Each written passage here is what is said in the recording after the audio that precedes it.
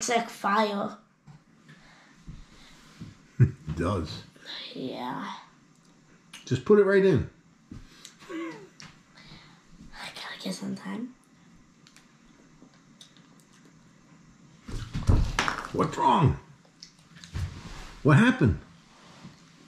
There's like dentist pudding flavor in your mouth. Dentist putting flavor in your mouth? Yeah. That doesn't sound good. Sure? It's not good.